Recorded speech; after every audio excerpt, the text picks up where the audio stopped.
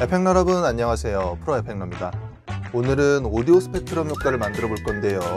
지금처럼 음악에도 사용할 수 있고 통화 목소리나 효과음 같이 다양한 사운드에 활용이 가능합니다. 배경이랑 텍스트 간단하게 화면 구성하고 음악에 맞춰서 움직이는 스펙트럼을 만들어 보고 중간에 음악을 바꿔보는 것까지 해보겠습니다. 그럼 지금부터 함께 보겠습니다 우선 컴프부터 만들어 줘야겠죠. 프로젝트 패널 우클릭 뉴 컴포지션 프리셋에서 1920에 1080 사이즈 컴프를 하나 골라줍니다.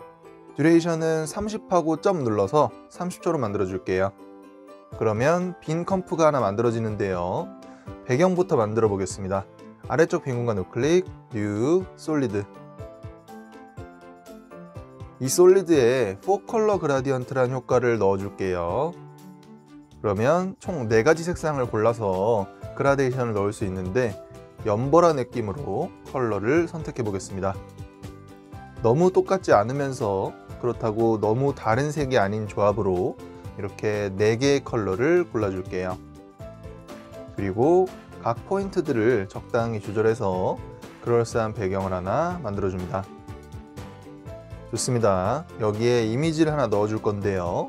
원형 속에 들어가도록 넣을 거라 우선 원형 쉐이프를 하나 만들겠습니다.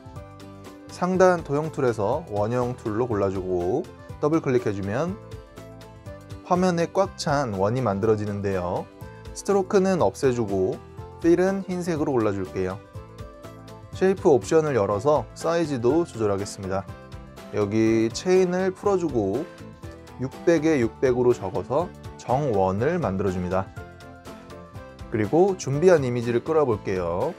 이미지는 방금 그린 쉐이프보다 하나 아래로 끌어와 주겠습니다. 그러면 원형 뒤에 이미지가 위치하게 되는데 트랙 매트를 사용해서 원 속에 이미지를 넣어 볼게요. 그러면 이렇게 원 속에 이미지가 들어옵니다. 이미지 위치도 조절해주고 사이즈도 조절해줄게요.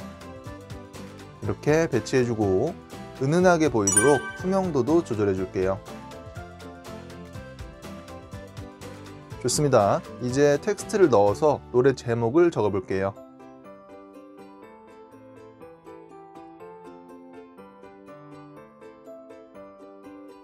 이렇게 적어주고 적당한 사이즈와 적당한 위치로 조절해 줍니다. 재생 버튼과 빨리 감기 버튼도 넣어줄 건데요. 그냥 도형 툴로 그려주면 되는데 너무 길어질 것 같아서 이미지로 준비했습니다. S 눌러서 스케일 조절해주고 화면 아래쪽으로 내려주겠습니다. 좌우로 잘 배치해주고 흰색으로 만들 거라 필 효과를 넣어주겠습니다. 컬러 골라주고 이 효과를 복제해서 다른 레이어에도 붙여넣게 해주겠습니다. 살짝만 더 키워서 옆으로 보내줄게요.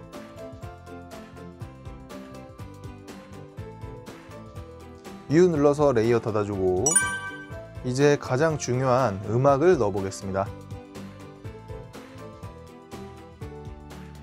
타임라인에 음악 끌어와주고 L을 연속으로 두 번 눌러보면 이렇게 오디오 파형이 나오는 걸 볼 수 있는데요. Envato Element에서 다운받은 음악입니다. 이 음악 비트에 맞춰서 오디오 스펙트럼을 만들어 보겠습니다. 우선 solid를 하나 만들어 줄게요. effect 검색 패널에서 오디오라고 검색하면 오디오 스펙트럼과 오디오 waveform 두 개가 나오는데요. 둘 다 큰 차이는 없습니다. 저는 오디오 스펙트럼을 넣어줄게요. 그러면 이렇게 점들이 생겨나게 됩니다. 우선 음악 레이어를 선택해줘야 효과가 작동합니다. 여기서 조금 전에 넣어준 음악 레이어를 선택해 줄게요. 이 상태에서 플레이해보면 어때요? 핑크색 점들이 위아래로 길어지는 게 보이죠? 이제 옵션을 조금 만져서 완성시켜 볼게요. 우선 컬러는 둘 다 흰색으로 바꿔주겠습니다. 그리고 점들을 더 촘촘하게 배치하기 위해 frequency band의 값을 올려줄게요. thickness도 올려서 점의 두께를 더 두껍게 해주겠습니다. 약간 흐리멍텅한데 softness를 0으로 만들어서 선명하게 하겠습니다. 플레이해보면 어때요? 아까보다 훨씬 잘 보이죠? 근데 문제가 있습니다. 스펙트럼의 앞부분에서만 반응하고 뒤쪽은 큰 움직임이 없네요. 이게 노래마다 달라서 노래에 맞게 설정을 해주는 게 좋습니다. 옵션 중에 start frequency와 end frequency가 있는데 이게 스펙트럼의 앞과 뒤입니다. 지금 앞에서만 주로 움직이기 때문에 이 범위를 좁혀주면 될 것 같아요. 맨 처음은 0부터 시작하도록 바꿔주겠습니다. 그리고 맨 뒷부분은 800 정도로 해볼게요. 그러면 지금 거에 절반 정도 되는 범위가 설정되겠죠. 플레이해보면 어때요? 아까보다 훨씬 골고루 움직이네요. 음악마다 다른데 막대가 너무 짧다면 이 부분을 올려주면 됩니다.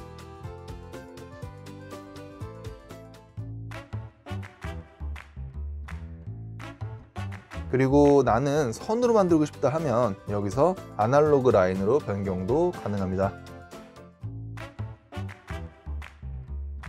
각 상황에 따라 어울리는 게 있겠죠. 원하는 걸로 골라주면 됩니다. dot도 있네요.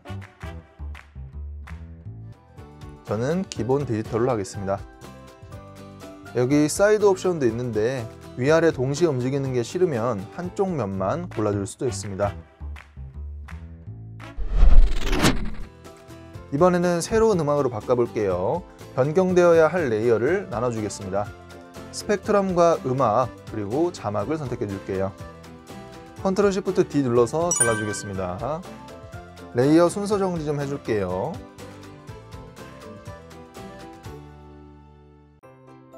이 상태에서 음악부터 바꿔볼게요. 기존 음악은 지워버리고 새 음악을 끌어와서 넣어주겠습니다. 이것도 L 두 번 눌러보면 파형이 보이죠? 시작 지점부터 해도 되고 중간부터 해도 좋습니다.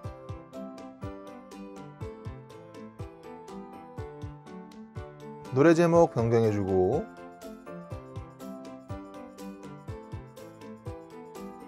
아 그림도 바꿔줘야 하는군요. 도형 레이어와 이미지 레이어 선택해서 Control Shift D로 잘라주겠습니다. 사실 최신 버전은 이미지만 나눠주면 되는데 기존 버전 분들을 위해 shape layer도 같이 잘랐습니다. 이미지 레이어 선택한 상태로 프로젝트 패널에서 Alt 누르고 이미지 끌어서 교체해 줄게요. 위치와 스케일 조절해 주겠습니다.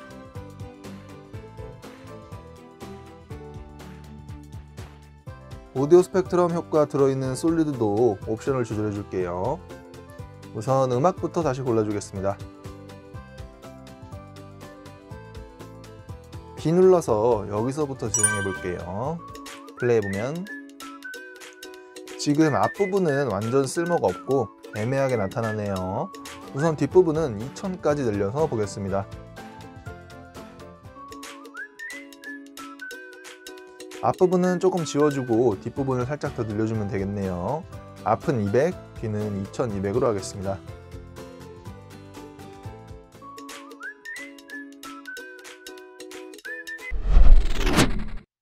자, 어떤가요? 오디오 스펙트럼 효과를 이용해서 간단하게 씬을 구성해 봤는데요. 이런 음악 말고도 전화 녹음 목소리나 효과음 같은 다양한 사운드에도 적용이 가능합니다. 방법은 똑같으니까 여러분들이 가지고 있는 사운드를 넣고 따라 만들어 보시길 바랍니다. 구독 안 하신 분들 구독 꼭 눌러주시고 댓글도 많이 부탁드려요. 그럼 다음 튜토리얼로 찾아오겠습니다.